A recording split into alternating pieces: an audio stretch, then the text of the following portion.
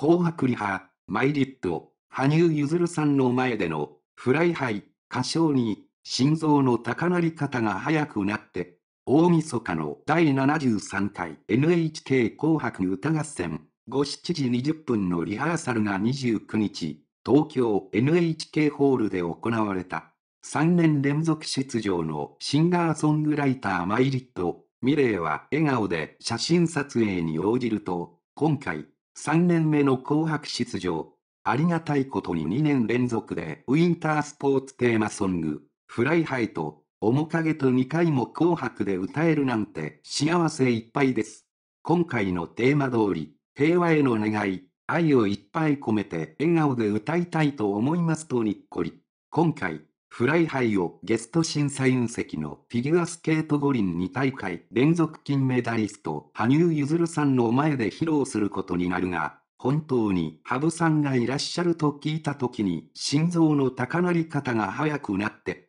羽生さんの演技にインスピレーションをもらって、あのジャンプに音をはめるように作った曲。高く飛べるようにという願いを込めて作った曲なんです。ご本人の前で緊張しますけど、素晴らしい演技をされた羽生さんはじめスポーツをしない人にも届けられるように歌いたいですと決意表明。本番で今回が初対面となる羽生さんと会話は、と聞かれると、羽生さんをずっと見てしまうかもしれないですね。今まで演技を拝見して、会見でのたくさんの言葉に勇気づけられてきたんで、会話なんかじゃなくても、ただ、ただお会いできたら嬉しいと頬をあからめた。今年の漢字一文字を聞かれると、ツアーも2本できた。フェス、イベントでたくさんの方の前で歌えて充実した1年でした。大尊敬する平原綾香さんに、ステージは祭りだよと言われて、一気に緊張が取れて楽しくなった。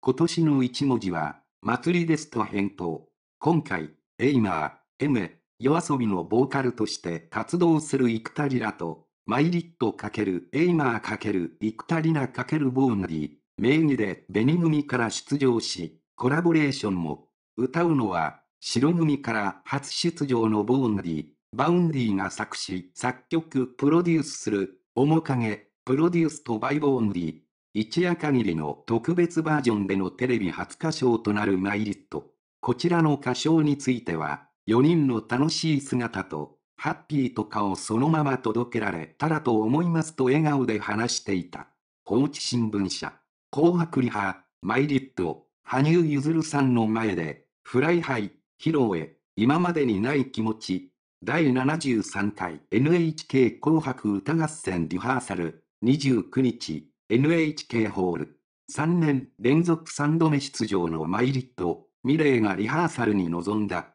昨年に続き、 Fly High を披露。さらに、 milet×Aimer×幾田りら×Vaundy として歌った、面影、 Produced by Vaundy も歌唱する。2回も紅白で歌わせていただいて、幸せいっぱいです。今回の紅白のテーマが、 Love Peace。平和への願いを込めて、愛を込めて歌えたらと意気込んだ。 Fly High は NHK ウィンタースポーツテーマソング。当日にはフィギュアスケートの羽生結弦さん、28がゲスト審査員として来場する。羽生結弦さんが審査員で来ると聞いて、心臓の高鳴りが速くなった。羽生選手の演技を見ながら、ジャンプに音をはめるように作った。この曲で少しでも高く飛べますようにってエールを込めて作った。ご本人の前で歌えるのは特別。今までにない気持ちでこの曲を歌うことになると感慨深げに語っ